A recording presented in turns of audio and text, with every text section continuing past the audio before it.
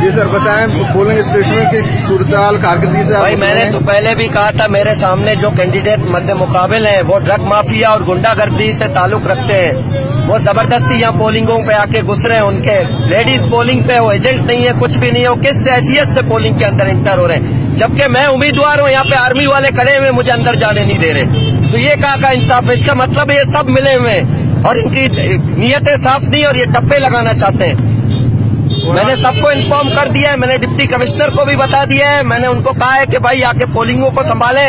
इसी तरह डोर गट्टी में इनकी एजेंट बैठी हुई इनकी बहन है, पता नहीं कौन है। वो पोलिंग के अंदर आप जाके देख सकते हैं कि पोलिंग के अंदर इनकी गाड़ियाँ मौजूद है।